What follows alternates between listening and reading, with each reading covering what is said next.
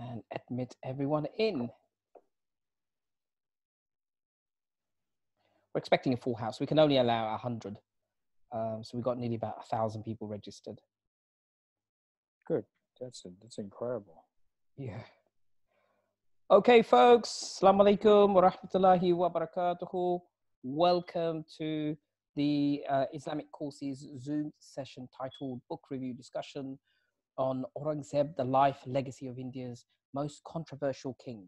Uh, very privileged to have Dr. Audrey Truschke from Rutgers uh, State University of New Jersey, and it's hosted by our very own Professor Jonathan Brown, who is the Al Walid bin Talal Chair of Islamic Civilization at Georgetown. Okay, so before I hand it over to Professor Jonathan, who's going to introduce the speaker and the topic, for security reasons, please, please, please, can I remind everyone? Um, I'm aware there might be some trolls or something like that. If you're a troll, uh, the Badshah will be on your case. As you can see, my name's the Badshah Sultan of Londonistan. But anyway, look, please, very important. Please keep your phones, devices on mute. It is being recorded. Uh, very, very important. If you want a copy, leave your email address if you're not registered. If you are registered, you'll get a link. There is a Q&A session as well. Uh, all questions will be done on the chat. Uh, and you can raise your uh, hands as well on Zoom if you want to ask directly. It is an academic discussion, so please, please, please keep the questions relevant to the subject. If you haven't read the book, buy the book. Uh, otherwise, please listen and tune in. Without further ado, I'm going to hand it over to Professor Jonathan. Thank you. Okay. Um, uh, alaikum, everybody, and uh, thanks, Mizan, for inviting me. This is a chance for me to um, well, I'll get to talk to an author whose work I have really enjoyed and whom I admire a great deal for her, not only academically, but her personal courage standing up for important causes. Uh, so I'm just going to uh, read uh, Professor Truschke's biography uh, first. So it's um, this is from her webpage or from her faculty page. Uh, Audrey Truschke received her PhD in 2012 from Columbia University. Her teaching and research interests focus on the cultural, imperial, and intellectual history of early modern and modern India, 1500 to the present. Her first book, Exter- um, Cultures of Encounters, uh, investigates the literary, social, and political roles of Sanskrit as it thrived in the Persian speaking Islamic Mughal courts from 1560 to 1650. Her second book, which we're talking about today, Aurangzeb, The Life and Legacy of India's Most Controversial King, is a historical assessment of one of the most hated kings in South Asian history. Yikes. But also hated, but also beloved. You know, it kind of depends which team which team you are. Are you on team Aurangzeb or team not Aurangzeb? Uh, and um, it's published in India and Pakistan as Aurangzeb, Man and the Myth. She's currently working on a third book in, on Sanskrit literary histories of Muslim-led incursions and rule into India, circle 11, circa 1190 to 1720.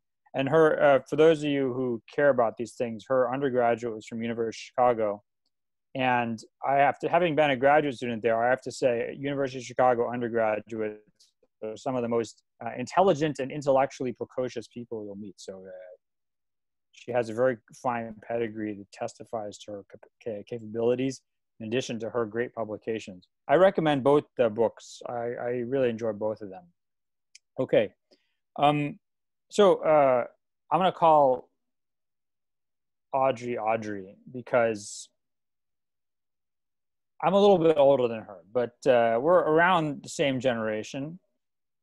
And um, I'm gonna if I try to say her name too many t- last name too many times, eventually I'm gonna butcher it. So I don't want Audrey's Professor Audrey will be easier. Uh, Dr. Audrey, can you tell us about your, you know, how you came to this field of study and your intellectual and your intellectual journey? Absolutely. So, salam alaikum, everyone. Thank you so much for, for having me here. It's really a pleasure to, to be chatting with all of you today. So, how, how I came to this field of study. Um, this is a sort of narrative and story of academic love. Uh, it's, it's a very University of Chicago story in that, that sense. So I went to college with the intention of studying religion, and I did. I majored in religious studies at the outset, you know, when I'm 17 and I first set foot on the University of Chicago's campus, uh, I sort of, you know, I, I don't know if I intended, I just assumed I would study Christianity and Judaism uh, because I'm from the American Midwest and, and that's what religion meant to me at that point in life. That's what I had been exposed to. And then I took I took a course on Hinduism, right? So the journey does start with Hinduism, not with Islam, and I took that with Wendy Doniger, who's a very well known scholar, um, and I I was completely blown away by the Hindu stories, by conceptions of the divine, by gods who walked and talked on earth. Um, I was fascinated by it, and I also didn't understand it. I, I didn't have a framework for making sense of, of this very different worldview. And so I thought, well, that's my problem, clearly, and I need to fix that. And that, that's what began the journey. And the next thing you know, I had done four years of Sanskrit as an undergraduate. That's a more that's a more normal thing to do at the University of Chicago than anywhere else on the on the face of the planet. Um, and and I had sort of gotten deep into the study of of Hinduism. Along the way, I had also started to study Persian. And so then, you know, shock of shocks, four years of, of studying Sanskrit and a year of studying Persian did not translate into a particularly great set of job opportunities. So, as opposed to going into the real world and getting a job, I decided to go to graduate school. And when I sat down and thought about what I could do with my skill set, working on Hindu Muslim interaction, Sanskrit Persian stuff in some capacity is, is what emerged. Um, and so I built on the skills. And, you know, when you start thinking about Indo Muslim history, the Mughals are sort of the best show in town, right? They're the biggest, they're the flashiest, we have the most historical information on them. Uh, and so I decided, you know, for, for my graduate work and, and for my first two books to focus on Mughal history. So it, it, it is very much an intellectual love. And at this point, I've been studying all this stuff for about 20 years. So it's a little hard to imagine it any other way. Do you, um, when you, you, you meant you, you discussed this a little bit at the beginning of the, of the introduction to the Aurangzeb book, but did you, when you wrote this book, did you, uh, I mean, you must have had an idea of the, the sort of uh, fraught terrain you were stepping into and how, how did that I mean, did that kind of motivate you more strongly to write the book when you were writing it? How much did that weigh on your mind as you were trying to produce a work that was like both academically rigorous but also accessible? So I would say it was absolutely formative. Um, you know, I originally I, I, didn't have an intention of writing about about Aurangzeb. I don't write about him in the first book. I think I have five pages that in which I explain basically why I am not going to talk about him. Um, and then, it, you know, what basically happened is I, I, made a couple of comments in an interview about Aurangzeb, um, and I felt like the world blew up at me like I got all I got all these responses. People wrote letters to the editor. I didn't even know you could write to the editor to complain about an interview, but you can apparently. Um, and so I thought, oh my gosh, we we have we have a serious problem here, in that Aurangzeb has become so politicized that people have this conception of him in the popular sphere and yet in academic circles we've actually made considerable progress in terms of how we think about him um, and no one has bothered to translate that no one's tried to bridge the gap. And so I thought there's so much interest, why not do it? Right. So, I mean, in a sense, I, me deciding to write this book was spurred, at least in part, by the political controversy surrounding him. Um, you know, and as historians, of course, you know, we may study the past, but no matter how far you're looking into the past, you are always standing in the present. Um, and so, especially for a figure like Aurangzeb that is so entangled with mythology and bad information and, and you know, wrong ideas, I think it's important to sort of name those at the outset, right? So you can sort of, you know, peel it away to the extent possible to get back at, at the actual historical Aurangzeb Alamgir. And that's sort of how I approach things in the book. I start with the present and work my way back. I'm going to assume, considering our audience, I'm going to assume that they all know about why Aurangzeb's controversial and they, they, no one needs to be sort of have this frame for them. Uh, so that'll uh, maybe allow us to get into like a more specific discussion. Uh, one of the things you bring up uh, is kind of it seems struck me as a central theme in your book, um, and and Richard Eaton also talks about this in a little bit different way. He talks more about stability, whereas you focus on this idea, the Persianate idea of justice, or the circle of justice, and the idea of a just ruler, and how much this uh, how much this you know inevitably shaped Aurangzeb because of the tradition he came out of and all, came out of, and also how you find so much evidence of his own personal reflection on his you know his performance as a just ruler in in his context. So how how you know this one of the the ideas uh, you know the idea that Aurangzeb is this sort of um, you know this kind of fanged bloodthirsty uh, uh, you know bigoted uh, religious fanatic, um, and you know that he sort of destroyed the the the, the Mughal state.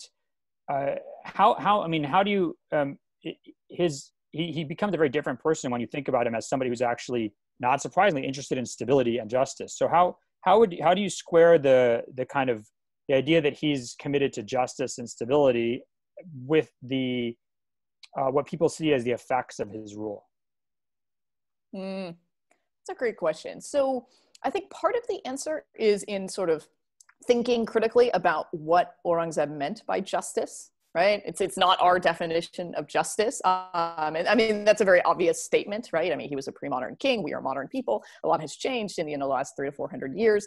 Um, but you know if if we don't sort of name and, and think more critically about it, it's it, people tend to just transpose their own ideas. Um, so Aurangzeb's justice did prioritize stability, but you know, you mentioned bloodthirsty. I wouldn't say bloodthirsty, but he had no problem slitting some throats to get what he wanted, right? And that's not because he was a Muslim fanatic. He was not. I mean, he was Muslim, not fanatic. It's because he was a pre-modern king, right? All pre-modern kings had no problem using violence to achieve their aims. That was part of the pre-modern state, right? That was part of the stability. Um, so, and that's something I explore in the book is you know trying to be clear that Aurangzeb's justice is different and, and to sort of look at what what that actually means so yeah i don't know if that sort of answer answers that question um what do you think yeah. i mean do you think that um so how one of the i guess one of the big questions about Aurangzeb's rule is why he spends you know several de- basically he leaves delhi in mm. i can't remember like six eight 1680s or something and like never goes back. He spends the whole rest of his his career campaigning in the Deccan. And you know, why didn't he take better care of the northern part of the empire? Why didn't he allow his sons a chance to gain experience? Um, you know, leading campaigns themselves and things like that. So, you know, why do you you have a figure? So that would be one half of the question, right? Mm-hmm. Then the other half would be okay, well, if he's concerned about stability, why does he do things like you know he levies the jizya in a in a, in a new way or a renewed way, and he um, he does these he, he takes these actions which seem to destabilize mm. his realm, mm. and that if someone if someone were, and some people and you write about this in your book, so some people were even writing to him and saying this is not right. You do do not do, do this decision is is destabilizing mm. things uh, that's an excellent series of questions. So for, let me start with the jizya. So Aurangzeb reinstitutes the jizya in 1679 after the tax had been abated for about 100 years in the Mughal Empire. And as far as I can tell, outside of the ulama, nobody thought that was a good idea. Uh, you know, Aurangzeb's sisters thought it was a bad idea. His counselors all thought it was a bad idea. The Rajputs didn't like it. Like nobody was in favor of this except the ulama. And I am not entirely convinced of why Aurangzeb reinstituted the jizya. Um, and I, I signal that in the book by sort of offering several different theories and just basically saying I'm not entirely sure. Um, you know, and, and for, for the non-historians among us, this is sort of a normal thing that historians do, right? You know, I, I like to tell my students that historians don't work in absolute certainty. We work in varying degrees of certainty. And whereas I'm, I, ha- I have a high degree of certainty about my views of Aurangzeb's justice, I have a fairly low degree of certainty about my, my views on the jizya. My best guess is that he was trying to placate the ulama. Um, and the you know the Mughals had had problems with the ulama. Basically, the ulama always wanted power, and the Mughal kings didn't want to give them power. And every king had their own way of dealing with this. And Aurangzeb he liked to placate them. Um, and you know the, the jizya tax collectors were all drawn from from sort of the ulama ranks. They were a special group of tax collectors, and it in addition to employing them, it also gave them an opportunity to skim off the top. And we, you know, we don't have great financial records from Aurangzeb's period, but what we do have suggests that the ulama did a little bit more than skim off the top. Um, it's possible that very little of the jizya tax ever got back to you know to, to sort of um, Aurangzeb's treasury. So the ulama are making out like bandits. They're happy. That solves the ulama problem. It, however, creates a mess of other problems. Um, what did Aurangzeb see those? I don't really know. Did, did he think about other ways? Presumably he thought about other ways to resolve it, but, but he never decided to act on it, although he does uh, rescind the jizya for certain sections of his empire. Um, so, uh, you know, around Bijapur, you know, in parts of the Deccan, um, when, when things are rough. So he, there is some degree of sensitivity that this is a hardship on people, but, you know, at the end of the day, just because he was a successful king in many ways does not mean he always made the best decisions let me say something about the Deccan. so around the time they reinstitutes the jizya, Aurangzeb also leaves Delhi. He heads south, and as you say, he never he never goes back. Right, he never goes back north, and that marks him as different from basically all other Indo-Muslim rulers. Plenty of other Indo-Muslim kings, well before the Mughals, even had gone south to conquer territory, but they always turned back north eventually. And Aurangzeb doesn't do it on a sort of personal level, I can tell you that Aurangzeb really liked the Deccan. Uh, he liked the heat, he liked the weather, he, he liked the, the fruits, um, and he we know this because he writes about it. Uh, this was in contrast to his troops, who are largely from the, the north and absolutely hate the Deccan. So there's a sort of divergence of views there. At in the at the end of the day, it I think that it's left me and all other historians scratching our heads, especially given that Aurangzeb came to power because he was a brilliant military strategist right? That's how he won the war of succession against his three brothers is uh, you know it, it's like a like watching those almost two years it's like a master class in military strategy. And then to just throw it all away and wander around the deccan for two decades i mean it's just like like what are you doing right? Well, i mean almost three decades. Um and i don't know maybe he was old maybe he wasn't thinking straight maybe he wasn't getting all the information uh, maybe he was just he just hungered for land that's what Bhimsen, who's a Kayasth who sort of works for him on and off during these years, thinks, right? And I quote him in the book on this that, you know, sort of no matter how much territory a king has, he will always want more. And so maybe Aurangzeb lost sight of what was going on up north. Um, but again, I do not have a great explanation for that. So just just some. What What about the theory that he's just he's so afraid of what happened, what he did to his father in the sense of you know he never wants to leave the army and he wants to keep the army continually continually occupied so that it doesn't you know his there's not sort of contingents of the army that are it can be drawn on by his sons to do what was done to, to do what his he did his father to him Mm. So I, I, certainly think that, that Aurangzeb sort of declaws the Mughal princes. Um, and, and that is not my theory. That is Munis Faruqui's theory um, that, that I, I, sort of draw on his book on Mughal princes on that. Um, and I think that, that that's a pretty big component in sort of bringing about the end of the Mughal Empire, at least the, the near end in you know the few decades after Aurangzeb's death. I don't know if that explains the army thing though, because wings of the Mughal army are up north during the decade mm. years, right? I mean, they're dealing with, you know, threats, you know, up in the Khyber Pass and, and all this sort of stuff. Um, you know, I think that Aurangzeb really liked conquering land. That's pretty clear. Maybe he really wanted to be there to see it himself. Um, maybe he was more concerned with the generals he had in, in the south. Um, and, and there, there is evidence, especially in some of the later sieges, that were not actually sieges. People were not following his orders, so he had good reason to be concerned. Uh, but I think I think we have to conclude that he sort of he sort of lost sight at some point of or maybe it maybe that maybe lost sight is the wrong way to put it. His sights were set on gaining as much territory in the south, no matter what the cost, and no matter how insignificant that territory in the sort of big picture of the Mughal Empire. Um, and that just seems to be at odds with how every other Mughal king, including him in the first half of his reign, thought about things.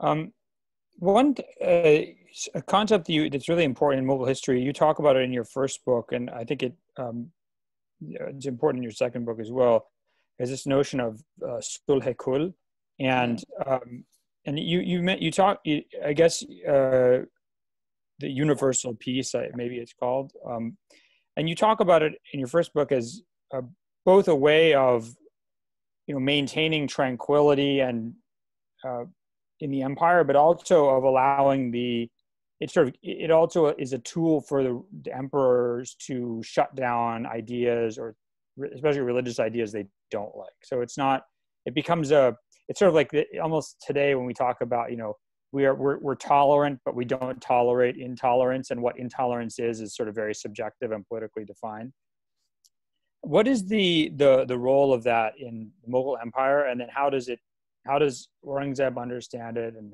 does he change it or anything like that? Mm. So, I'm going to preface this by saying that my views on Sulh Kul are not not necessarily they're certainly not universal among Mughal historians. There's a lot of debate about what Sulh Kul is um, and and how we should view it as as a sort of you know tool for understanding Mughal history. But in my in my view, um, is is a sort of it's a set of ethical practices and and also political practices. Um, and it, it sort of has implications on the individual level. Like, you know, if you're following Sulh Kul, you should live in certain ways and do certain things. But I am far more interested in the sort of wider political consequences. Um, and so you know for somebody like akbar who's sort of he's sort of like the founding figure for for Sulh Kul and the mughal empire. You know for him this this is a way for for him as a political king to also exercise control in the ethical and religious spheres um, and sort of mesh those together with politics. And so as you mentioned there's an element of sort of who do we want to keep out right? It's basically we want to be tolerant until we don't want to be tolerant anymore. Um, you know so you know for akbar you can worship any god. Doesn't matter which god it doesn't have to be his god it can be another god but it has does have to be a capital g god right? No no thousands of gods. You can have thousands of gods that are aspects of one god right? That view of hindu thought is fine but but you know you can't you can't just have just the, the, the, thousands of gods. And you certainly can't have no God. That's a big issue with Akbar is what to do with the atheists. Um, and generally, they just deny being atheists. Otherwise, they risk Mughal wrath. So this then continues. It continues through Jahangir and presumably through Shah Jahan, although very little, there's very little writing from uh, modern writing on sort of Cool and Shah Jahan's period. And then with Aurangzeb, you know, I think that this is an area needing more research. Um, I, I can't I can't say I did a ton on this. Um, Cool mainly comes up in my Aurangzeb book because there is this scathing letter written to Aurangzeb. We're not sure who wrote it um, about the jizya, which it, it, accuses him of going against the Mughal policy of mm. Cool, which has you know sort of enabled this multi-ethnic, multi-religious empire to succeed by bringing back the jizya. Um, and honestly, I mean, I'm not, I'm not sure I guess I'm still not sure entirely how to take that, right? Like, is that a rhetorical flourish? Is that actually a very strong, grounded argument? I'm not sure. It's hard to know without knowing who wrote the letter, which does not appear to be something we're going to be able to settle. So, I was, I was, I didn't know if I could ask you this question, uh, but then when you told me about your undergraduate work, I, I'm a, I feel more comfortable. I mean, one you talk about this in in your your first book. Uh, you know, with Abul Fazl's discussion of, I mean, he almost has, I think this in some ways maybe even preceded by a little bit by Biruni, but this idea that like that some of these Muslim scholars got the idea that they understood that you know that that quote unquote idolatry is actually at the kind of high level is actually a monotheistic concept, right? That uh, that that mm. these that, that it wasn't like the, the, the idols were a way of focus. They were, you know, trying to get to the same thing Muslims were kind of via the opposite path. Um, it, eh, but one of the things that I, I think uh, you see a lot in the kind of, you know, Akbar versus Aurangzeb or Aurangzeb versus Dara Shikoh uh, juxtapositions is that, you know, um, Akbar and Dara, Dara Shikoh are sort of, they're tolerant of India, you know, kind of writ large or Hinduism writ large, right? But, um, and I think this is also a theme that comes up in, in Supriya Gandhi's book on Dara Shikoh, which is, is it really, for someone like Akbar or Dara Shikoh, are they really embracing Hinduism and Indian religion, or are they very specifically interested in what they see as monotheistic, um, kind of in a monotheistic elite, correct elite, or a monotheistic uh, head, uh, you know, like a elite thread or strand in Hinduism or Indian religion that they validate? Hmm. So I think it, I think it depends on the thinker. I, I, suppose the simplest answer is that yes, I think that they all had a sort of line beyond which they would not go, right? And I mean, keep in mind we're talking about kings and princes, right? I mean, you know, Dara being the one exception to, to, some degree, like these are not just people like kicking back, like, you know, living some life of the mind, right? I mean, these are people with like real world interest in holding on to political power. And, you know, I mean, Dara is somewhat of an exception to that. Um, and, and that doesn't serve him very well, right? I mean, his lack of practical skills is why he lost the war of succession. Um, you know, l- let me just say something though about Dara versus Aurangzeb and their approaches Hinduism. So, you know, Dara Shikoh's sort of, you know, pursuits of Hindu ideas is very well known. You know, he Bahrain, the, the, sort of confluence of these, you know, two two oceans, all this stuff. Um, and because of that, many people think that, you know, he had this great respect for Hindu thought. And he did in in one regard. Um, but he also I would argue, enacts a sort of violence against Hindu texts and Hindu ideas because for Dara, the, the sort of core point is to prove that Hinduism and Islam are the same, right? There is not a recognition of difference there or an appreciation of diversity, right? I mean, this is not the way we would go about, you know, respecting another religious tradition today. I mean, for him, he wants to say that, you know, the Vedas and the Quran are saying the same thing right? Um, and of course, that as opposed to you know more Hindu mindset. Now, Aurangzeb doesn't think that way, right? I mean, I don't recall him saying anything that I've ever read about the Vedas, but I'm pretty sure he didn't think they was the same as, as the Quran. Um, essentially, I don't think Aurangzeb cares about Hinduism much at all. Um, and you know, just a friendly reminder: when we talk about Hinduism, this is anachronistic, right? I mean, there there is no Sanskrit word for Hinduism, um, so people didn't talk about it in quite the same way back back in those days. But for Aurangzeb, you know, if Hindus want to work for the Mughal Empire, that's great. If they don't want to work for the Mughal Empire, then they're enemies of the state. If they want to convert to Islam, that's totally fine. Aurangzeb liked converts all of the Mughal. Um, although Aurangzeb shows a sort of curious interest in making sure that conversion is genuine, there are cases where he rejects Hindu converts because he thinks that they're just like, you know, converting to get out of the jizya or something. Um, and there, there's even a case where uh, they, they sort of capture some, some, some enemy soldiers and the, the, um, the, the, the judge says, um, he's like, well, we'll kill them all at sundown unless they convert to Islam and then they can live. And Aurangzeb is like, get this qazi out of my face, get another qazi. I want another opinion. Um, and they get a second qazi, and the second opinion is we just kill them all. No conversion option, right? So, you know, Aurangzeb is a king first and foremost. Um, you know, he had no problem with Hindus practicing their religion and doing whatever they wanted unless they crossed Mughal state interests. Um, and when they did, Hindu temples were, for him, a completely legitimate temple, a legitimate target of punitive state action. And that's something that's very hard for many people to understand today. Um, but I think what you need to know really to get this is, is as follows. Hindu temples were political institutions in addition to being religious institutions. And that idea is very difficult for people to understand today because we think of religion as separate from the political sphere, um, even though it's arguably not, not quite that clear cut in modernity. Um, but you know, to say that somebody has politicized religion, that's a bad thing in modern times. And in pre-modern times, that was just like the state of the world.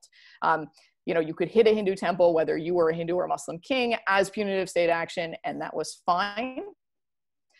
Um, you know, Aurangzeb also on the sort of the Islamic side of things, he performed his piety on a public stage, right? He had no problem using Islam and acting in certain ways for the view of others um, in order to achieve it to sort of further his political goals as well. So the, the politicization does run both ways, if in the specifics it looks a bit different. I think that was I was surprised by it was this is in uh, Supriya Gandhi's book, but this that so Dara becomes at some point in his life before he's king or before he the the War of Succession.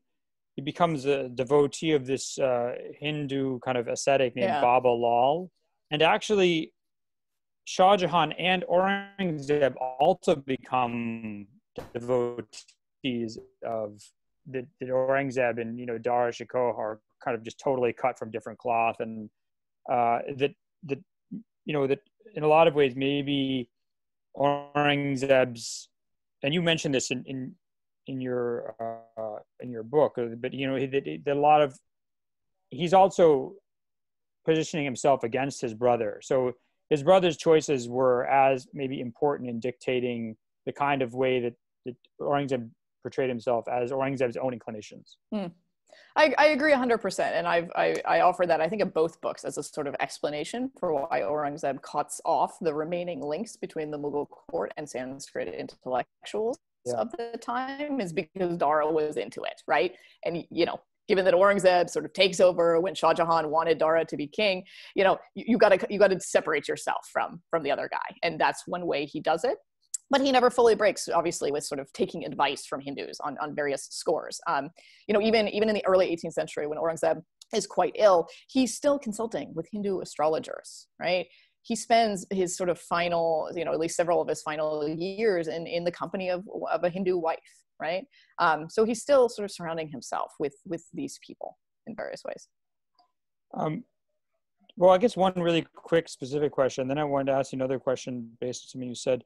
Uh, how did the I've always wondered this. How did the Mughals justify marrying Hindu women? Is it just like you know Oh. I'm the king, I can do whatever they want? But I mean, Oh. Muslims can't marry Hindu women. They can. They can have. Oh well, you know, yeah, Hindus but are the Ahl Ahl Kitab. Kitab are not. Uh, you know, even uh, let's say Majus, Majus, Zoroastrians, yeah, Muslim men can't marry Zoroastrian women. So okay, so I would say that this perhaps looks a little different in India, right? Like Hindus are widely considered, you know, even far before the Mughals to be Ahl Kitab, and so you can have intermarriage. Like it's it's not sort of a huge issue, especially for kings. Um, you know, for commoners on the ground, I'm sure this looks a little bit different. Um, and obviously the gender here matters that it's men marrying women. Um, their Hindu wives did not have to convert you know, for the Mughals, this was really a practical strategy, and it was a very good practical strategy. It helped ensure Rajput loyalty and submission to the Mughal state, right? Because you know, a bunch of their daughters are like, you know, part of the Mughal family now. They have kids that are sort of half and half, all this sort of thing. Um, but yeah, I mean, I don't, I don't think that this is a huge issue. Um, you know, there, there does arise an issue about the number of marriages, right? You know, it's supposed to be only four, but like that's not nearly enough marriage number. You know, it's not nearly enough wives for for the Mughal kings, uh, especially when you're using marriage as a political integration tool. So, you know, they just sort of disregard the ulama on that It's good to be the but- king, as like the, the History of the World Part One with Mel, Mel uh, Brooks movie. I don't know if maybe I'm dating myself, but the guy he should. Mizan saw it. Okay. so the so so the uh oh yeah so then the other question this is more intelligence i think um so uh shivaji the maratha leader Mm. um he and i'm i i i, I this is from a not from your book but i wanted to ask your opinion on it um he he kind of uh portrays himself or positions himself as this kind of anti-muslim anti-mughal anti-muslim defender of what he he says defender of i'm going to butcher this hendavi dharma dorokla dharma dorokla Mhm. does that make any sense Yeah, I mean, it's it's wrong. So what he said like So okay, to, i mean to i said it wrong or the, or he- no no no no no no no no the the idea is wrong. So okay so um so in sort of modern hindutva thought and for for the hindu right um shivaji is, is he's like one of the great saviors of indian history right? He pushes back against the mughals you know he sort of uses his resources well. Um, and they imagine him as basically founding a sort of proto-hindu rashtra right? You know this sort of hindu supremacist state that is the sort of you know one of the chief goals of hindutva ideology is, is to enact and achieve that. And we're essentially seeing it unfold in India right now. So, uh, the sort of core problem with this, it's, sort of the same core problem as people who hate on Aurangzeb, which is that, uh, you know, Shivaji was a pre modern king, and this is like way before Hindutva and nationalism. I mean, India doesn't exist as a country, you know? Um, and so, for Shivaji, you know, who he was, he, he was, he was basically a guerrilla war guy. Um, he did position himself against the Mughals, except when he allied with Shivaji. There is a brief period of alliance. Um, but basically, you know, Shivaji thought that his military skills were sufficient enough that he could break from Aurangzeb's power and sort of build his, carve out his own little kingdom. And he was right. You know, it works. You know, their brief alliance ends when Shivaji sneaks out in the dead of night and escapes from being under house arrest in, in the Mughal court. Um, and he remains on the run for the rest of his life. And he, you know, founds this little kingdom, you know, this in, in sort of Maratha territory and so on and so forth. Shivaji was not anti-Muslim, right? No more than, than Aurangzeb was anti-Hindu, which is to say not at all. You know, one of Shivaji's top generals was a Muslim. Uh, there's actually a battle where Shivaji and Aurangzeb are fighting, except that like the general leading Aurangzeb's army is Hindu and the general leading Shivaji's army is Muslim, right? Like religion was just not the, it, it was it was just not the the sort of determining identity factor in in that relationship. I didn't see that in the film, by the way, Shivaji film. Shocking, shocking on that. Yes. so oh uh, there's a quick question what's the worst bollywood movie about the mughals Oh gosh. Well, I don't know. I think the worst on any in, the on Indo-Muslim rulers is that Padmavat. I couldn't even watch it. I, I turned it off halfway through. I was like, oh my gosh, I can't subject my my eyes and my mind. That's about Alauddin Khilji, right? yeah, it's really bad. Um, but look, I mean, on the Mughals, I'm I'm a total sucker. Like I love Mughal. I mean, it's not really about the Mughals. I mean, that's about like a Nehruvian vision of India. Um, but um, you know, it's tell us about Aurangzeb's favorite chancellor. I'm gonna again butcher the name. Ragun Raghunatha. Ah, Raghunatha. Yeah. So the, yeah, this was like one of his like uh, sort of early Hindu leaders in his state, and you know we shouldn't call him a Hindu leader. He was just like a guy in the Mughal state who happened to be Hindu, um, and he was really good and he dies pretty early. I think I'd have to look up, but I, I think in the, the sort of 60s, right, the 1660s. Um, and even 40 years later, Aurangzeb still is talking about this guy in his letters, right? Like, I've never found a replacement. This guy was so great. All of my state servants should be like him. Um, and it's very intriguing. I've never found an instance where Aurangzeb talks about the guy's religion or that he came from a different cultural background maybe because he didn't really by that point right? But you know um, it, it's really just you know this guy was really good with numbers and i really appreciate his contributions to the mughal empire. Um, what about uh, the, the the role of uh, Rajputs in uh, in the Hindu army and nobility, and also just you know Hindu quote unquote um, kind of administrators or Brahmin administrators in the Mughal Empire. Mm-hmm. And how did this did did Aurangzeb uh, change this or leave it the same? Mm. So the sort of integration of Rajputs largely precedes Aurangzeb, um, and he deals with a sort of you know a couple of major rebellions and that sort of thing. Um, but you know most Rajput families had been sort of clearly brought in, into the Mughal fold before Aurangzeb's reign, and Aurangzeb keeps them all in, keeps them together. One notable thing that that Aurangzeb does is he increases Hindu participation in the Mughal nobility um, in in terms of sort of a percentage so Hindus were always a minority of Mughal administrators, right? these ranks were always dominated by by Muslims. Um, and again, you know, using these broad modern religious categories doesn't really capture why this was important, right? I mean, it was important to have, you know, Iranis and Turanis and these sort of different types of, of Muslim groups within the Mughal state. And so Aurangzeb increases Hindu participation in the Mughal nobility, but largely by adding in Marathas, right? Um, um, and, and Aurangzeb takes a lot of it. And anyways, he ends up with, with a lot of Marathas under the Mughal umbrella. And so, you know, for the Mughals, once you conquer a group, then you need to integrate them into the state, right? To sort of give them skin in the game and, you know, help keep them loyal. And he does that. And the one group that actually has the biggest problem with all these new Marathas um, are it's, it's not any Muslim group, it's the Rajputs, right? They're the ones that, that sort of balk at that. Um, and this actually goes back all the way to when you know Shivaji was sort of first brought before Aurangzeb's court during their moment of of alliance. Shivaji did not come from the same cultural background, and notably, he didn't come from the same caste background as as Rajputs, and Rajputs did not like that. Um, and again, if we use the modern category of Hindu, it's very hard to sort of see that because it's like you know they're all Hindus. Aren't we talking about mm. all Hindus together? But but they did not see themselves as a unified group at all.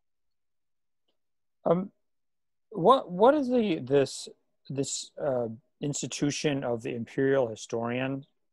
Uh, is that something that's um, unique to Mughal rule? Is it something that is you see a lot in uh, pre-Mughal Indian history? Uh, the idea that there's like a court mm-hmm. historian who writes, you know, he's not just documenting, um, you know, today this happened, today that happened, but is really putting a flourish or narrative flourish on this.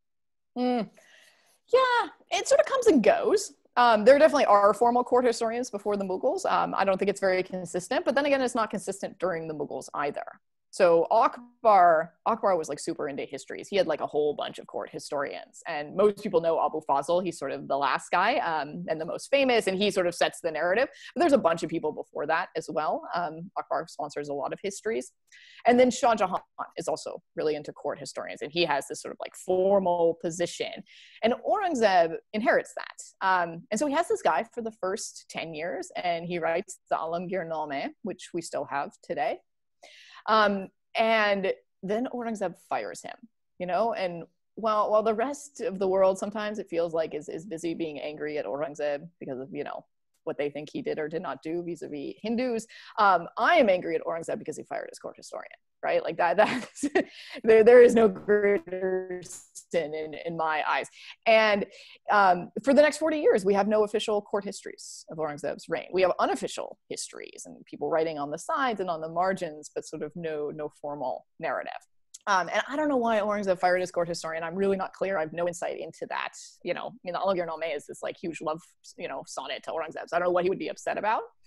But it was, I will say, it was not a big break with Mughal practice to sort of get rid of a court historian you didn't like. That happened a lot. Um, and I think Babur, Humayun, and Jahangir did not always have formal court historians. I think Jahangir won for a little while, but not always. No. What about ba- Bakhtawar Khan's uh, what is it, Mirat-i-Alam, or uh, is that was that a court official court history? Mm, I don't believe so. No. Or so it's just yeah. like his his Because own. I mean, yeah, you yeah you have all these people sort of writing around the court. You have a bunch of histories produced after the Aurangzeb's death that that are sort of you know somewhat official. Um, I think things get a little murky because we start having like kings in pretty rapid succession there for for a while until Muhammad Shah comes to the throne. But What um, what kind of uh, documentary evidence? I mean, for example, these histories do they pres- do they survive in um, fairly old manuscripts? Are they just copied and copied and copied and copied? Uh, and then, besides these narrative histories, what kind of documentary historical material do we have from, from the time of Aurangzeb? Mm, that's a great question. So Aurangzeb is the most well documented Mughal king that we have. Um, we, we have the most historical material on him by far. So for the, the histories, I mean, it depends on the individual history, but we do often have manuscripts going all the way back to Aurangzeb's period. Um, so it's, it's recent enough in time that not everything's been destroyed from then. Um, the other great thing that we have on Aurangzeb that we do not have for earlier Mughal kings are the akhbarat. And the the akhbarat are the news reports, right? So I mean, th- this was like your newspaper of the time. So basically, Aurangzeb had had guys in like various courts and you know key places across his empire and beyond, and other kings did too. Like Shivaji is doing the same thing, and so on and so forth. And then these guys write like sort of daily reports of what's going on. They send them back to whoever's employing them, and you know it's sort of the way of keeping up on news and what's going on in all corners of the empire. And we actually have a lot of the akhbarats from from Aurangzeb's reign. However, they're not in, they're not very accessible. Uh, I believe most of them are in Calcutta. Possibly all of them. I'd have to check on that. Um, and it's a situation where you have to go and you have to sit there and you have to read them. And they're all in pre-modern Indo-Persian, of course. So you have to be a you know highly trained and a specialist, and you have to have a lot of free time on your hands to go sit in Calcutta. And very few people have have been sort of interested and willing and able to to do that. I did not do that for for writing the Aurangzeb book. So that's really a story I think about modern accessibility and you know what happens when we have archives that, that are difficult to access. Do you think do we have any um, uh, you know court things like court you know legal court records from Aurangzeb's period? I mean, uh, outside of the sort of central administration's uh, record keeping, are there any? Did, did, do you know of you know judges or courts keeping legal records of Mm, that's a great question. I know it's mentioned in the Akhbarats. Um, you know, there's there's definitely sort of references in that. You know, the courts did keep records. I'm not aware if we have any of those. I feel like we do, but I can't say I'm super familiar with that. Um, I did dig a bit more for the financial records, and, the, and, those we just don't have. We don't have regular financial records. They they existed, but they're gone. Um, you know, part of explaining that is that the Mughal library was sort of looted multiple times um, between mm. the end of Aurangzeb's reign and our time. Um, so that, that explains why some of this has been lost. Um, one of the, I think one of the challenges, I'll, I'll, this is the last question I'll ask. Um, I want to give other people a chance to ask. Is that, is that okay, Mizan? Mizan, by the way, you look like a, like a Pakistani PIA like pilot. Or I'm something. about. I, I decided. You look terrific. I wish I could. I wish I could like that. You look like you should be on Mad Mughal memes. That's what yeah, you look yeah. like. No, I just take it off now. Now I'm no longer the Badshah, according to Jack. No, well, keep your sunglasses on. You look terrific. really, I'm admiring you. Okay. Uh, um, so, uh, one of the, I think one of the challenges is, you know, is if you're, I mean, I, I'm not, I'm not suggesting that historians are kind of propagandists or anything, but I mean, you're, you're, I agree with you 100% that, you know, one of the things historians have to do or should do is to try and make sure that the past isn't misused in the present. Uh, but one of the, the problems, you know, when we're talking about things like Hindu Muslim tensions and temple destructions and mosque destructions and all this is that, you know, you go back and you read uh, the Mughal era history and, um, you know, the historian says, you know, Padishah so and so went and said, I'm going to destroy this temple because I'm Muslim and this is a Hindu temple and I'm going to destroy the temple of the enemies of God. And so, you know, uh, some kind of Hindutva person could say, look, look, they said why they did it. I mean, I'm, I'm taking Muslims seriously. Here they are telling us exactly why they did this. Um, and I mean, I, maybe you can explain to us how, what, what a historian or what it would be correct to do in terms of reading behind these sources or how to read these sources. Hmm. Absolutely. So, as I sometimes say this to my students, just because somebody wrote it down hundreds of years ago doesn't mean it's true right and i sometimes tell my students like imagine the exercise of someone coming along in 400 years and reading donald trump's tweets and just assuming it's all true right like yeah. you i mean you would be in crazy land as opposed to like reality um, and so you know you have to separate out rhetoric from from reality and read all sources critically. So when you approach a source, you don't assume that it's true, you don't assume that it's false either, but you interrogate it and you ask, okay, what are the literary conventions I need to know? Right? Because there are some things that we do and say that, you know, it's not what what they mean right um, you know a, a, good example in in american english is um, when you when you see someone you say hey how are you you don't actually want an answer to that question okay? Right? Like that you know and this throws off people coming from other english speaking places right? It's, that's just how are you is just like how we say hi. It, it does not actually mean you're supposed to answer. Um, so you need to know like what are the conventions in writing this sort of text right? So like one convention that comes up in indo-persian writing is you always begin with praise of allah. And hindus do it too and it doesn't mean they converted. You just you just do it. It's just like the way it's done. And there's like all this like all these islamic phrases that come up. And like you know a writer called Bhimsen is going to use it as much as you know a writer with a muslim name. And, and that's just the way it is. And so for temple destruction right? In pre-modern times it was a good virtuous thing if you were a muslim to claim that you went around destroying temples because you were doing jihad. And that that idea is offensive today but you know what? History doesn't care about modern feelings. Like back in the day this was just like something that was done.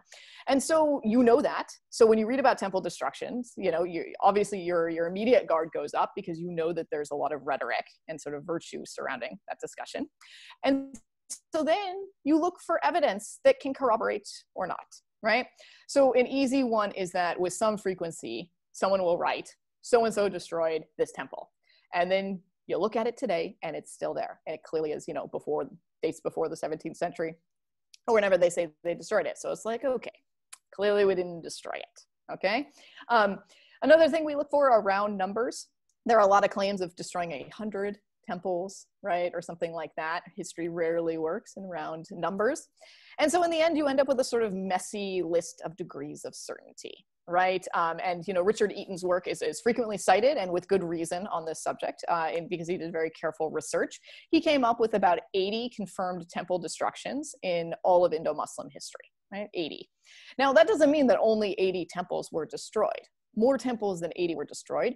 We just don't know how many and we can't confirm them. We're pretty clear it wasn't, you know, 10,000 because there, there would be a, you know, a sort of physical evidence that doesn't exist today, but maybe a few hundred we simply don't know. Um, and so at the end of the day, I think what is most useful in these instances is actually to just reframe the discussion entirely um, away from sort of how do we feel about this and away from numbers and instead look at the why, right? And so for me, I do this in the Aurangzeb book by talking about why did Aurangzeb target this temple and destroy this temple and not the one next door, right? Because that's what historians have to do, right? You can't you can't cherry pick people who have politicized readings of the past and are you know politicians or whatsapp you know university graduates or whatever uh, they can cherry pick you know they can say whatever they want about the past but real historians won't do that right? Because it's unethical and it's that's, that's not our job right? So so we have to sort of explain the whole picture. Why did some temples why were some temples destroyed by indo-muslim kings whereas most were not right? That's the critical question. We've got loads of questions jack. So you've got someone okay. chat but should we take so, priority for the ones who are holding? They've got about we've got about five people and they're holding their hands. So can I take the first really? one from Dr. Yusuf? I'll just unmute him. Is that okay? Dr. Yusuf, please, very quickly. Hello, assalamu alaikum. Thank you very much. Uh, I know there's a lot of questions. I'll get to this. I'll get to this quickly.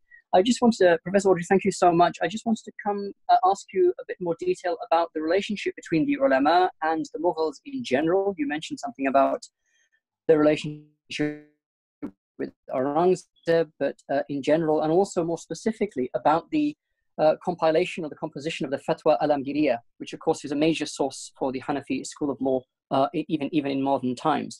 Could you could you maybe just talk a little bit about that and what maybe the social political circumstances that sort of prompted that and so forth? Thank mm. you. Brilliant. Absolutely. So, so for the ulama and the Mughals generally, so basically both groups want power right? And, and the ulama have clear power on religious matters eh, in general life, and the Mughals had clear power politically in general life, um, but both sort of wanted to encroach on the other. So, for example, during Akbar's period, the ulama, they definitely want to have a say in the sort of nature of the Mughal state, right? So, for example, they're not happy when Aurangzeb starts reciting the, the thousand names of the sun in Sanskrit in order, and he does it at a time to coincide with one of the five daily you know, sort of Sunni Islamic prayers. The ulama are not happy about that. And they want to have the ability to sort of, you know, tell him to knock it off. Akbar, for his part, he wants to be able to do whatever he wants, but he also wants to have authority in religious matters, right? Uh, Akbar has, has a sort of very um, universalist vision of, of his own power um, and it wants to exercise that in all realms. So he wants not only exceptions for himself but he wants the ability to actually be the final authority on what is or is not a good idea. So for akbar he deals with this um, by, by treating the ulama pretty harshly with Muslims present, but later with both Hindu and Jain and Christian representatives as well, um, where he sort of ridicules members of the ulama and just like makes like rampant fun of them in, in front of everyone else. Um, when the ulama were, were particularly problematic, uh, Akbar would just send them away. Um, and a couple of ulama are, are suspiciously murdered during his reign. Um, and that's actually something, the, the idea of sending them away. So the most classic way of doing this in the Mughal Empire is to send somebody to Mecca because Mecca is a long way away. So by the time you get to Mecca and back, a few years have gone by and, and you know, it's all fine. Um, and other kings do this too. In fact, Aurangzeb does this. Um, so one of Aurangzeb's first problems when he's won the War of Succession it's been a little over two years. The sort of dust is just beginning to settle. So he needs the chief qazi of the Mughal Empire to to sort of sanction his kingship, right? And, and sort of play a crucial role in, in his, you know, ascension ceremony and all this stuff. And the qazi who had been Shah Jahan's qazi just says no, says absolutely not. Like you're not a legitimate king. Um, and the issue there was not the war of succession. It was that Shah Jahan was still alive, right? So under Sharia, as understood at the time, you could kill your brothers. No one had a particular religious issue with that, but you could not overthrow your father. That was a problem. So Aurangzeb fires the guy and he appoints a more pliable Qazi. And that relationship lasts about 20 years before then Aurangzeb has to fire him as well, right? So, so that's a little bit on, on sort of the ulama. Um, the, the sort of law book, the Fatawa-i Alamgiri. Um, so th- this is compiled by a team of ulama. Several hundred religious scholars worked on that project. And I think that was part of the point, right? So Whereas Akbar made fun of the ulama, uh, Aurangzeb preferred to just just give them something, some, excuse me, just give them something to do, right? Placate them, provide them sources of income. Um, so the Fatawa-i Alamgiri helped with that agenda. Um, it also did give a sort of standard law book, um, which was important to Aurangzeb's vision of justice. Um, and and the it was it was a practical tool. It was used in sort of courts across the empire. The last thing I'll say about about that project is that I think it's actually a good example of how Aurangzeb sort of continued Mughal kingship practices while putting his own stamp on them. Um, and what I mean is that earlier Mughal emperors had done these sorts of large scale textual projects, right? But whereas we look at Akbar's period and we see this done with histories and with translations of Sanskrit text, for Aurangzeb, he sort of channels this in, into, into a law code and more of a justice mode up to you, Jack, who the next person is. You can either do a chat. Um, can... Yeah, I'm, there's a lot. I'm getting a lot of uh, messages privately in the chat. Um, some one one message, uh, or maybe I'll give you two questions. You can kind of pick how you want to answer them. Uh, one is uh, how how did the you know, were, were the Mughals a colonial power, and how how could we kind of look at them differently than than the British control control of um, of India, and uh, then why did the uh, Mughal Empire decline rapidly after mm. Aurangzeb's death? So the Mughals were not a colonial power. Um, so w- they were a bit early for one thing, but also colonialism is is really defined as a sort of extracting relationship, right? Where where someone who is based in another place comes along and sort of takes away some of your resources. Um, that's not what the Mughals were, right? The Mughals originally were conquerors, right? And, and I mean, you know, they were a land-based empire that never changed, right? Conquering territory never changed, but they came to India and they never left, right? I mean, you know, the, I mean, there's, I, I suppose there's probably still like a blood legacy in, in some regards there. Um, so I think it's much more accurate to think of the Mughals as an imperial power, right? So I want to be clear that you know we, we don't we don't we don't call the Mughals a colonial power not because we want to like you know make them into some you know pretty group that's sitting around singing kumbaya or something that's ridiculous right we it's it's simply it's it's an inaccurate description of of their um of, of, of sort of their, their political processes, right? Imperial is, is far better there. Um, why did the Mughal Empire decline? I don't know. I think it's a million dollar question. Um, I don't think, you know, historians have long, I think, done away with some of the really bad explanations, right? You know, it's not because they were decadent or something like that. I mean, that's a very colonial uh, way of looking at things, very Orientalist. Um, you know, I think Aurangzeb probably had a little something to do with it, but I don't know if he had everything to do with it. Um, honestly, I think that questions of decline in general are poorly dealt with in historiography. question of sort of what happened to the Mughal Empire and why. Um, somebody asked about Princess Zeb-un-Nisa. I actually don't know who that is. She she was treated unjustly, a genius and a woman in her own right. Any thoughts on yeah, Zabe I mean, yeah, You know, Zabe is an interesting character. Um, you know, I, I, talk about various female members of, of the Mughal family in the book. Um, to be honest, that that is, I don't know if it's a regret. If I were writing the book all over again, I would include more on, on female figures. I actually think it's a weakness of the book is that I don't say enough about women and their role. Um, but if you're interested in, in Zeb-un-Nisa, there's definitely writing on her, and there's some of her own writing as well, um, some of which has been translated into English. Should we take some questions from the um, Zoom? Jack, which one do you want to take? We got Moise Mohammed, Harun Sidat, or Shafa Awali. Up to you. I think Moise was first. Should we take Moise? Um, why don't you, why don't who, who, who do you who do you who should pick them? You because I can you're the chair, bro. You can you can unmute people, so you should do it. yeah, but I, I, you you have the muting and unmuting power, so right, you, I'll do You should just pick people. Okay, yalla. Moise, it's your turn. Okay. Uh, thank you for the talk, uh, Dr. Audrey, and uh, for the questions, Dr. Brown. My question was about films. Um, do we see a lesser proportion or a number of um, history films in Bollywood compared to the number of history films we see in Hollywood? And if so, is that because the role of history in India is too, you know, contentious for filmmakers to deal with, especially pre-BJP era? Um, how would you explain that? You know, I suppose I've never I've never thought of it comparatively. Um, I don't know. Are there are there more films in Hollywood or Bollywood? Um, I mean, it seems you know it, maybe it's just my own interest. It seems to me there are there are a fair amount of Bollywood films looking looking at Indian history. I mean, maybe it's just that I like watch all of them. I don't know. Um, you know, I think I think it's hard. I think it's hard to know what to do with pre-modern stories, especially in an art form that is is sort of modern stories are so dictating, right? You know, so many, I mean, obviously, you know, movies have great variety.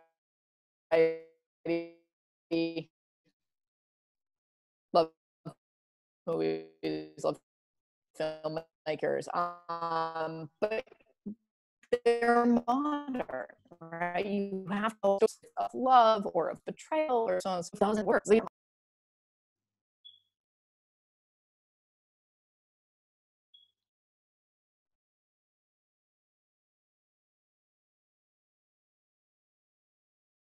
something off the top of my head, the most recent scholarship on, on Aurangzeb, um, I would direct you to Richard Eaton's India and the Persianate World, um, which is a sort of you know more sweeping history of sort of all of Indo-Muslim history, but one entire chapter he devotes to Aurangzeb. Um, which is appropriate given given sort of how important Aurangzeb is, I think, to to the narrative and and to the formation of, of you know South Asia in that period of time. Um, and that book came out, I think, in 2019, um, maybe late 2019. So, you know that that's sort of going to be your most recent Aurangzeb take. Okay, we have another question for uh, Wani. Let me just unmute him.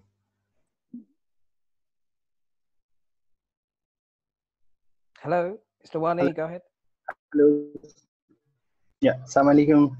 Uh, thank you, Professor Andrea. Thank you, Jack For the wonderful discussion. Uh, uh, I just have two questions, uh, uh Professor Andrea. Uh, first, uh, I would like to ask the Hindutva, how do you see the, the, the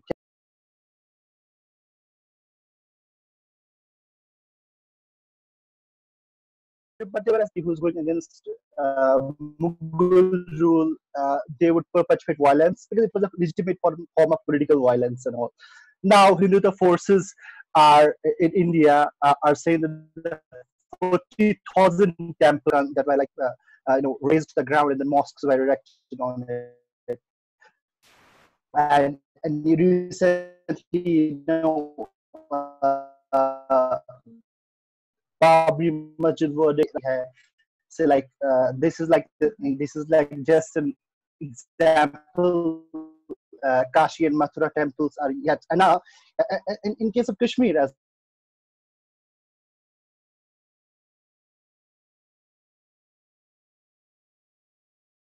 because it was earlier Hindu territory, and then a lot of the temples they say uh, a lot of the temples in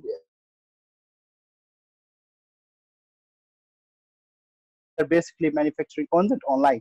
Uh, but my uh, beyond this, but my question is a bit different. Recently, Turkey uh, uh, came up with the Bab with Hagia Sophia decision, and many it generated a great debate in India.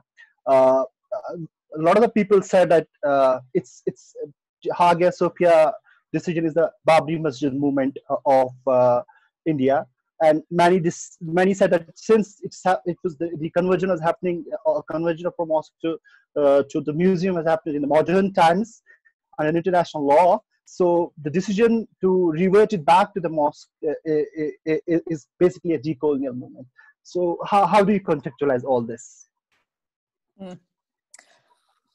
So great, great questions there. Uh, so let me start with sort of Aurangzeb's place in nationalist historiography.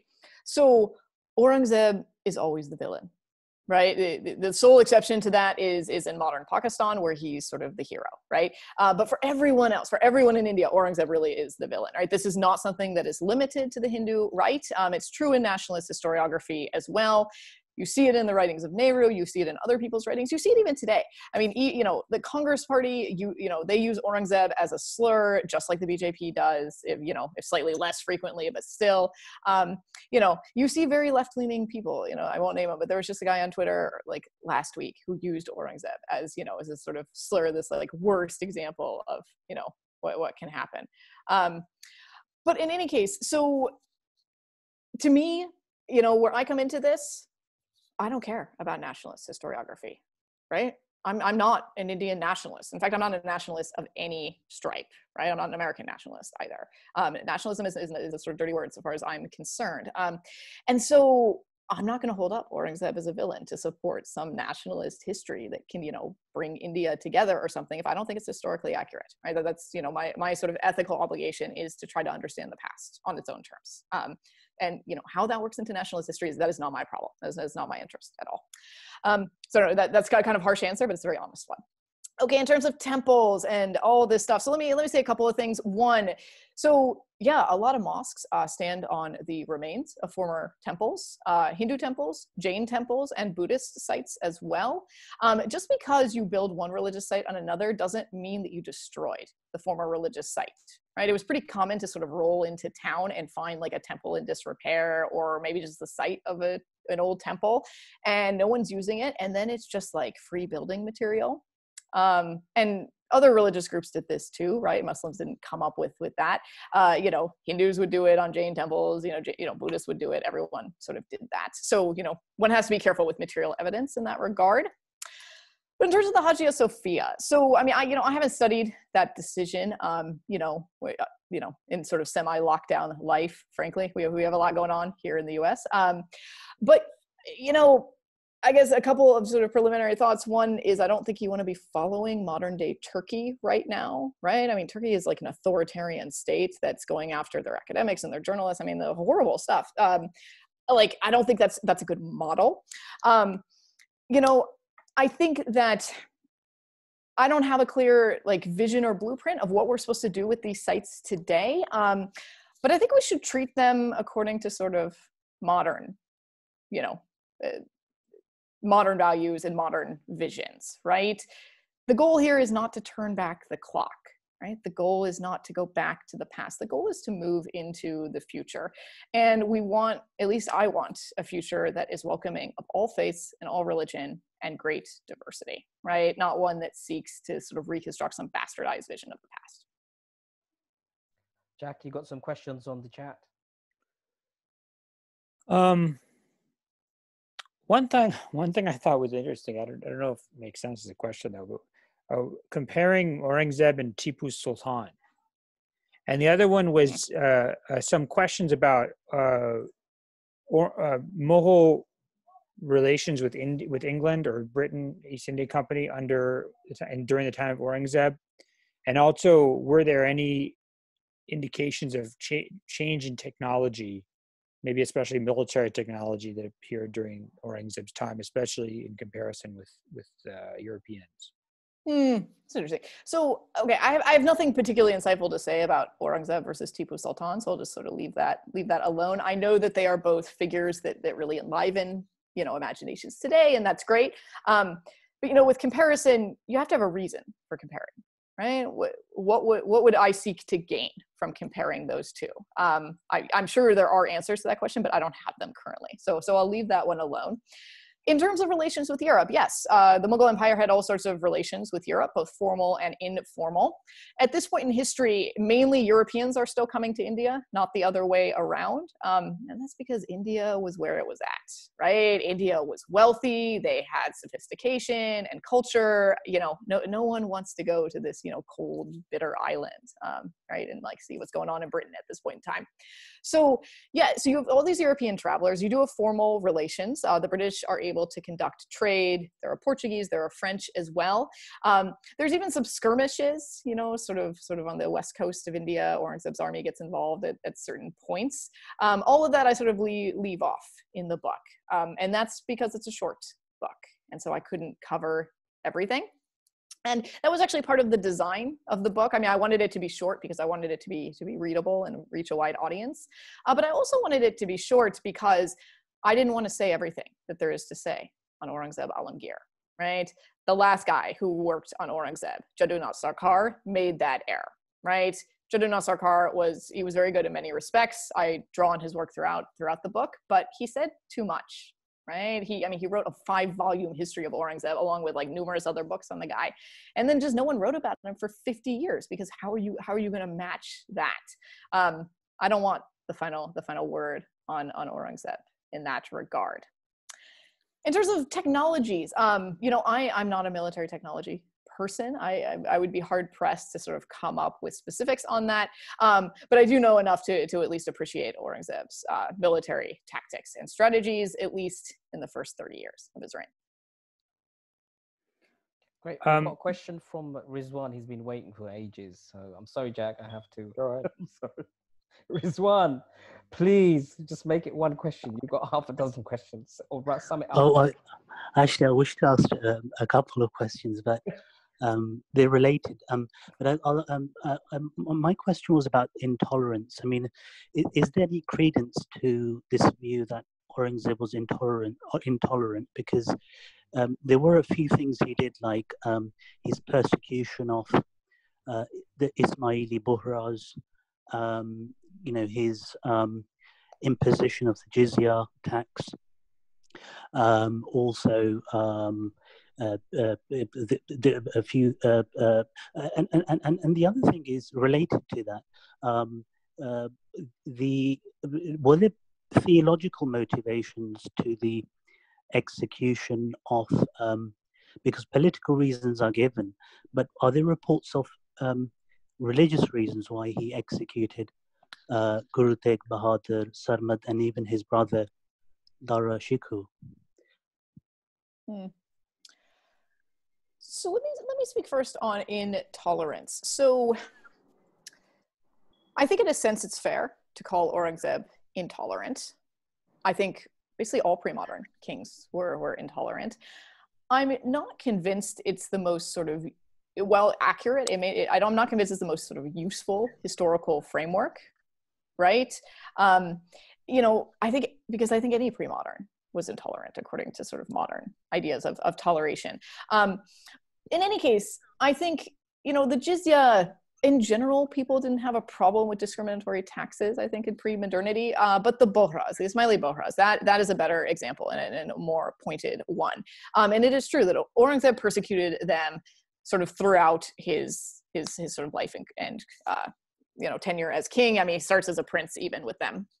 And I think that I think Aurangzeb certainly, um, like many people, uh, cared more when when it was other Muslims, um, and that that's a theme that comes up with earlier Mughal kings as well, right? You know, if you're over there, you know, doing stuff as a Hindu, like you know, I as Aurangzeb the Muslim may may think you know you're you're getting some some stuff wrong, but at least you're like doing it as a Hindu, right? But I mean, if you were claiming to be a Muslim, and I know what Islam is because I'm Aurangzeb and I'm a pious Muslim, that is actually a much greater threat. Um, so I think that's perhaps part of why he he goes after the Bohras so so hard is that he perceives it, you know, it's the people closest to you in a sense that that can be the greatest theological threat. Um, I'm also not convinced that I'm entirely clear on the full story on that. Um, you know, and and there has been further work. I think Samira Sheikh has, has a very good article on on the Bohras that goes into much further detail than I do in the book on that theological reasons for executions. So it depends on who you read and it depends on who we are talking about. So for, for Aurangzeb's brother, for Dara Shikoh, there, there's a story that, that Dara was declared an apostate, right? That, that he had turned his back on Islam and that's why he's being executed. This is mentioned in some versions of the execution, but not in all versions. In contrast, all Mughal sources detail the War of Succession right? So everyone agreed on the War of Succession. Everyone agreed on the political struggle, like as a fact that this happened, and you know Aurangzeb won and Dara then executed. Some people wanted to also add a theological justification, but not everyone, right? Was there an actual theological justification? I don't know. It's possible. Um, Aurangzeb preferred to have other reasons for killing his brothers, even though he didn't need them. That also is, comes up with uh, Prince Murad as well, the other brother that he killed. Um, you know, Murad rots in prison for a few years, and then Aurangzeb uh, comes up with this like he says uh, Murad murdered some guy like a decade ago which is true but i mean like murad was a mughal prince like this is not that that huge of a deal um, but that's why he he has him executed uh, overdosed on opium water in that case and it's one of those it's, it's a little baffling honestly because Aurangzeb didn't need a reason to kill these guys. Like he won the war of succession, he could have just executed them. Like it's, yeah, I mean, it's brutal, but it's fine. Um, you know, in the the sort of, you know, for the time. Uh, but he preferred to have other reasons for Guru Tegh Bahadur. So I, we do not have great Mughal records on what happened there. Um, I, honestly, I don't think that this was that big of a deal from Aurangzeb's perspective, and I say that with full knowledge that you know modern day Sikhs, uh, you know, view this execution in a particular way, and it's, it's uh, you know sort of formative part of their religious story. But honestly, I, for from a Mughal perspective, I think Guru Tegh Bahadur was just another enemy of the state that needed to be dealt with. Um, essentially i think for someone like him it's it's not that there was a religious reason for the execution but it is the case that his religious status did not save him aurangzeb didn't care that he was a religious figure. That gave him no special protection. He's causing unrest in the Punjab. That's it. As soon as the Mughal army gets his hands on him, the guy's head's coming off, right? You know, it, so it is brutal, but but not sort of religiously targeted.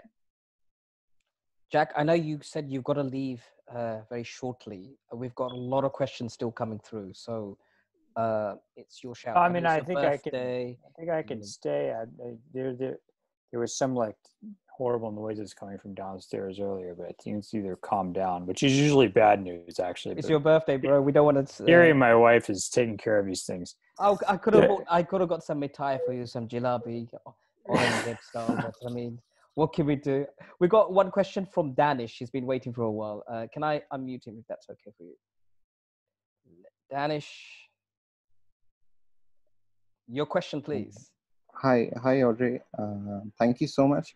Um, I, I actually live in Aurangabad and I visit Aurangzeb's uh, mazar quite often. And I also sit in Shahi Masjid, which he built, uh, which he used to sit in. Um, I find it peaceful. So Aurangzeb, uh, two questions, uh, sorry. Aurangzeb imprisoned Shah Jahan for extravagance with Taj Mahal, if I'm not wrong. And um, I mean, I want to check that. And uh, my, my primary uh, question is, was Taj Mahal a symbol of love for Shah Jahan or was it more to do with aesthetics and tasawwuf? And second, did Aurangzeb identify Ottoman Empire as a trans-global caliph?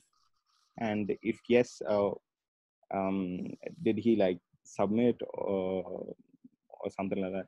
Like, you know, the narrative of the Ottoman Caliphate. So did Mhm. Aurangzeb identify that? That that's it. Thank you so much. Okay. So, starting with Shah Jahan, no, he did not imprison him for extravagance with the Taj Mahal. That, that's a modern myth. Um, so, what happened is that Shah Jahan fell quite ill in the fall of 1657. Okay. And remember, I talked about these news reports that, that people would, you know, send back. So all the princes had like their own network of news reports. So Shah Jahan falls ill. Um, and we know, and he, he he's found to be ill pretty quickly because he stops appearing in the Jharokha. Okay. The, this sort of, um, this like Hindu adaptation, this like little window sort of at the top of a palace. The Mughal king would appear to his subjects, often at sunrise, right? It creates this like nice light halo effect, right? So it's sort of like semi-divine showing thing. So Shah Jahan did this uh, every day, and he didn't do it for a couple of days. So everyone knew that he was ill, and all the news reports go back. Uh, he has four adult sons, uh, one of whom Dara is with him at the sort of Mughal court, um, but the other three are in corners of the empire in Bengal and Gujarat and in the Deccan. They all know that he's ill, and he's expected to die. So they prepare to fight.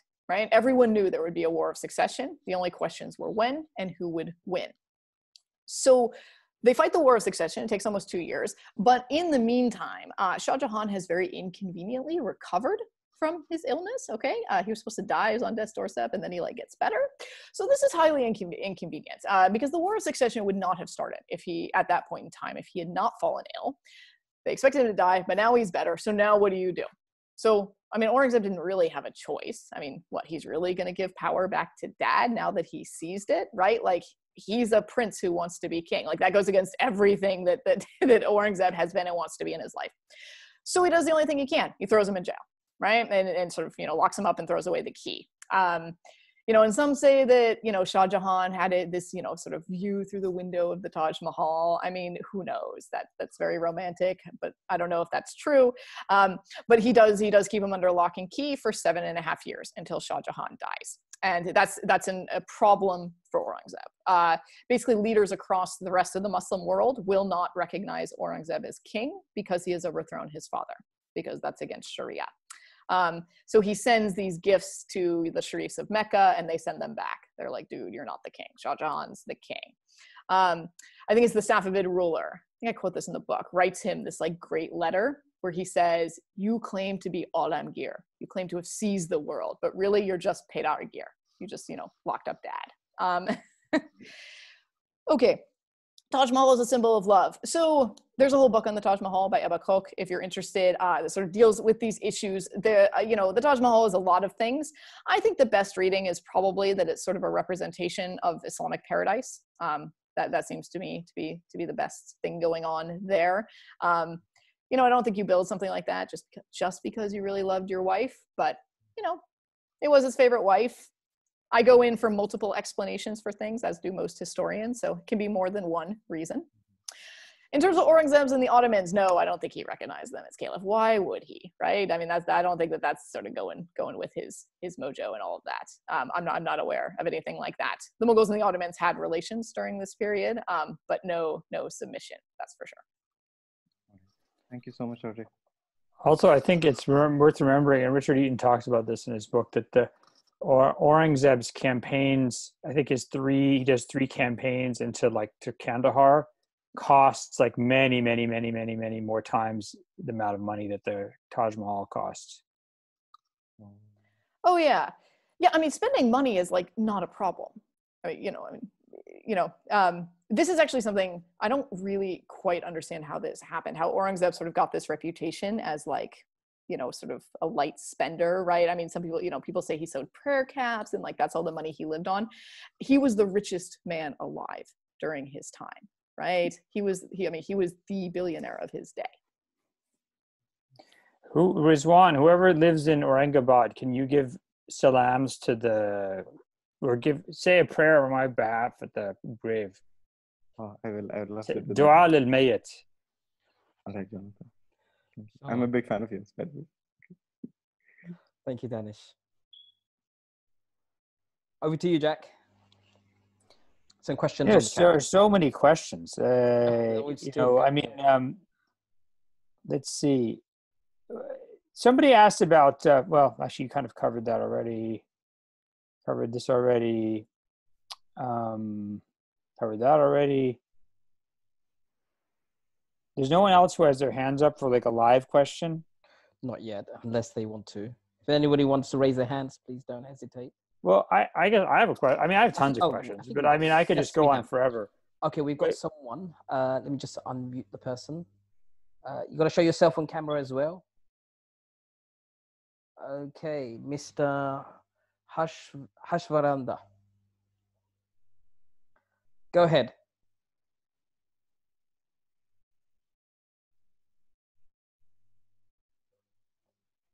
Yeah, is it visible?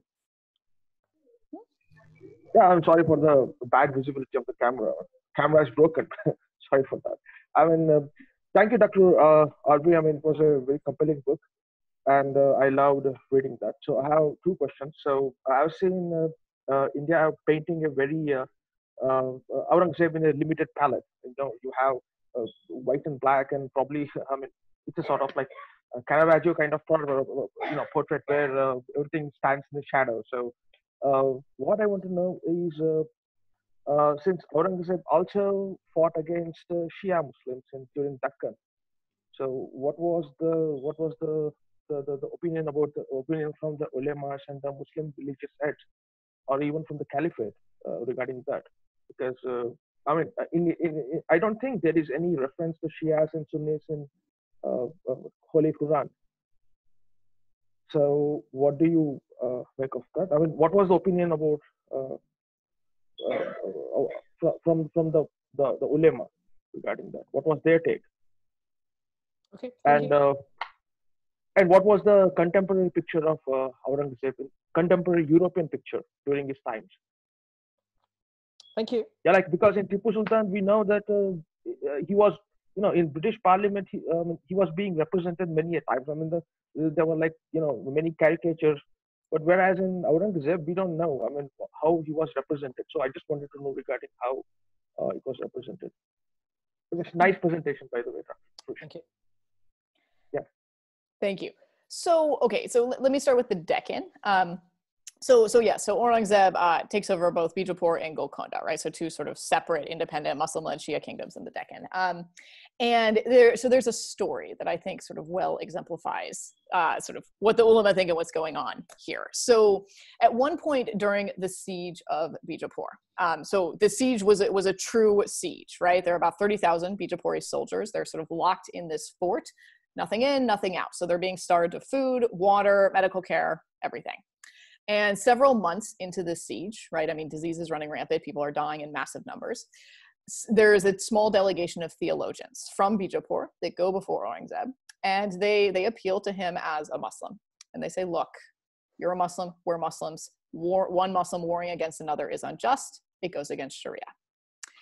And Aurangzeb essentially has no answer, right? Because they are correct, as, as everyone understood Sharia at this point in time. They, they're, they are, they're, they're right in terms of their argument. Um, but Aurangzeb, when his faith and his piety and religious beliefs conflicted with his thirst for earthly power, he always chose power right? This, this was not like we sometimes went one way, sometimes went another, right? Like he was a king first and foremost. Um, and so he just sent the theologians away and he continued his siege. And it ended when the, the Sultan of Bijapur was the last Sultan of Bijapur and he bowed low in the dust before Aurangzeb's feet and gave over everything as an unconditional surrender. And by that time, many, yeah, I think more than half of the 30,000 soldiers were dead so like I said, Aurangzeb was a pre-modern king, right? I mean, you know, you think about him in modern times, not a very likable guy, but we don't study him to think about whether we like him, right? We study him to, to understand him the European picture that is an interesting one. So you know there there is there as you say. I mean there are various representations and discussions of Aurangzeb. He's thought of correctly as an incredibly wealthy and incredibly powerful king. Um, even at, at this sort of early stage, right, late 16th, early sorry, late 17th, early 18th centuries, you, you're really ha- seeing Orientalist ideas already start. Um, so he is sort of seen very early through this lens of sort of, you know, decadence and extravagance and all this sort of stuff but he's also just seen as very powerful. Um, and you see that particularly there is a play by John Dryden, who is the poet laureate of England uh, for at least some of the period that Aurangzeb's on the throne. And he writes a play called Aurangzeb right? So it's how we usually spell Aurangzeb today with an extra e at the at the end. Um, and it's this sort of crazy picture of Aurangzeb. Among other things, Aurangzeb is an atheist. Um, so sort of totally lost the whole Muslim side of things. Um, but he is a very powerful king, um, and it's sort of exploring that aspect. So Europeans are, are thinking about Aurangzeb, they're interested in him, um, certainly much more so than, than the other way around, right? There's still pretty limited interest in India about what's going on in Europe. Over to you, Jack. Got some more chat questions you want to take? Um, or add your own, whatever.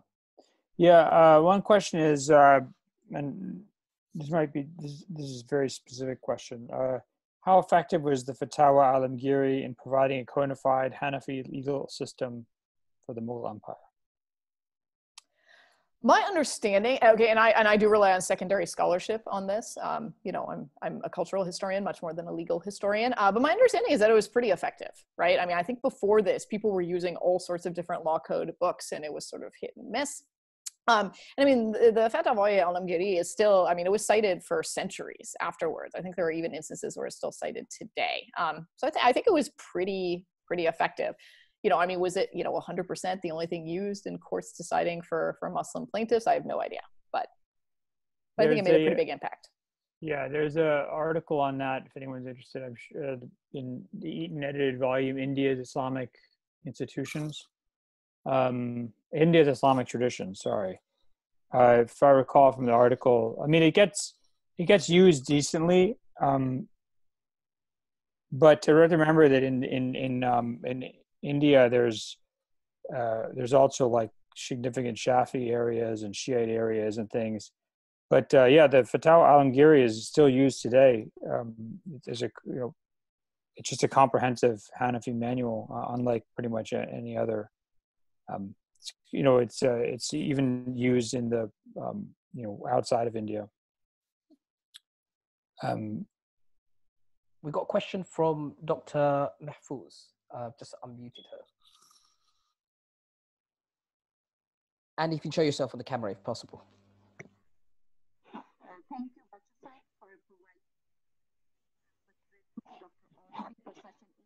So we can't hear you. We can't hear you. If you want to put your raise your volume, please.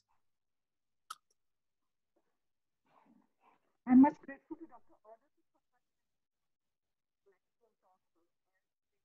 Sorry, the volume is low.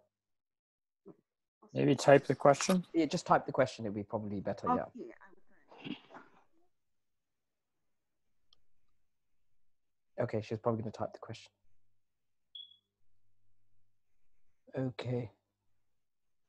I think we have another person who raised their hand. Uh, Rizwan, you just type the question, bro. You've got too many questions coming through. I mean, there's one. There was one question about this. The guy, the the kind of antinomian mystic Sarmad that he executes, and he, Sarmad's a really Hmm. interesting interesting character, as I recall. Is he just sort of a like a gadfly that is causing too much problems, or too too too controversial to be allowed to survive? Uh, Sar- is certainly causing a lot of issues. Um, I mean, like, there's many issues with him. His, his religious identity. He's going around saying all this crazy stuff. Um, he also goes around naked sometimes, like that, like that, like wearing clothes. Pretty big you know, cultural norm in the empire. Um, I mean, really, do not underestimate the importance of it. Like, like you know, not wearing clothes, big problem. Um, you know, I think I I attribute Sarmad's execution in large part to his sort of acquaintance with with Dara Shikoh. Um, but I don't think we can attribute it entirely to that. Uh, general Mughal practice was after you beat your brothers and kill them or blind them or you know drive them out of India, whatever you're going to do with with them, and then after you take the throne, then you integrate their followers into the Mughal state, right? So there were not negative consequences if like you know one Rajput chose like the wrong guy and you know fought the imperial army. Like generally everyone sort of comes together, and uh, that was very good for the Mughal state.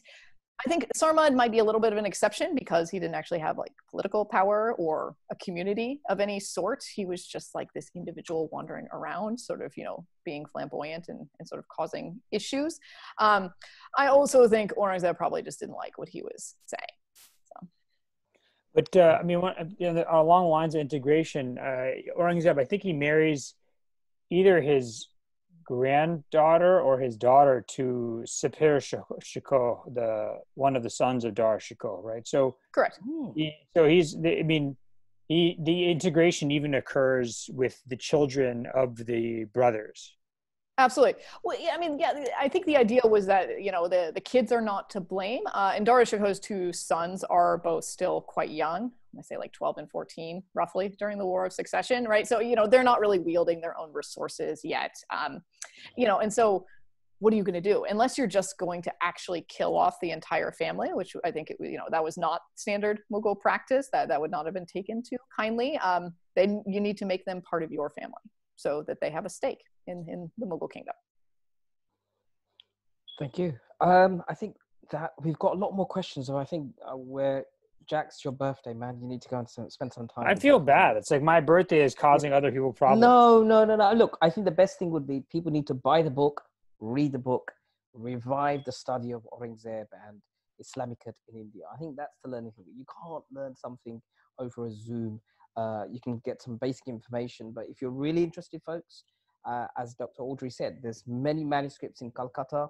Why don't you go and learn some Sanskrit? Go and learn some Farsi. Um, regain, restudy your history. We don't have many um, intellectuals and historians, uh, you know, delving into the subject. This is just a nice icebreaker, an introduction to the whole thing. I'd like to thank uh, Dr. Audrey, Jonathan as well. Would, would you like to sum up and um, close up? Well, I mean, I would just say, you know, uh, not only read the Aurangzeb book, which is, I mean, it's a, it's sort of a, you know, it's not a big book. I mean, it's a kind of fun, Mm. Uh, accessible read. It's very, I mean, it's very well done. It's just not, it's not like a brick, you know, you know, it's not going to intimidate you to death. Uh, but I would also really recommend the cult, the culture of encounters, uh, her first book, which, you know, I was a little, you know, I was like, ah, Sanskrit, nah, I'm not that interested in Sanskrit. But I, I actually thought it was, I mean, I just think it's so important to to really understand the Mughals as an Indian um, state, you know, as as as people who are trying to understand how to like how to be Indian rulers, and that the the the culture of encounters book is really helpful, and it um, kind of unlocks a lot of things about Mughal imperial elite life that maybe are a little bit mystifying when people who come from outside that like the weird obsession with astrology and chronograms and all this stuff. Um, and uh, whoever i think it was rizwan can you take a nice picture of the mosque aurangzeb's mosque and his grave send them to me or I yeah think it's uh, Danish. I think it was. Okay. yeah danish okay yeah sorry send them to me and uh, i would love those and um, yeah i would i'm really happy to to have gotten a chance to meet uh, dr audrey at least on zoom Thank you. Dr. Audrey, final comments and thoughts before we close? Um, Yeah, so so thanks so much for having me. This has been been so much fun. Um, you know, again, I encourage people to keep reading and keep thinking, right? You know, again, my Aurangzeb book is not meant to be the final word, right? Read it and disagree with parts of it. Just make sure that you disagree for real, solid historical reasons, right? Uh, the last thing I'll just mention in closing uh, is that I do have a third book coming out. Uh, it will be out in January of 2021. And I'm sad to say I'm forgetting the title because we changed the title at the last minute. Really should have looked that up. But, anyways, it is on Sanskrit histories of Indo Muslim rule from the late 12th century into the early 18th century. So, we all you know that we know Persian, we all know that we use Persian sources to reconstruct mm. this sort of Indo Muslim period of, of, Indian history. Uh, but there are actually Sanskrit historical sources, and I survey about three dozen of them in the book. I'm specifically interested in how they depict the Muslim other right? And as it turns out, uh, they don't talk about them as Muslim very often, and they usually don't talk about them as other either. Mm, Look for that. Fantastic.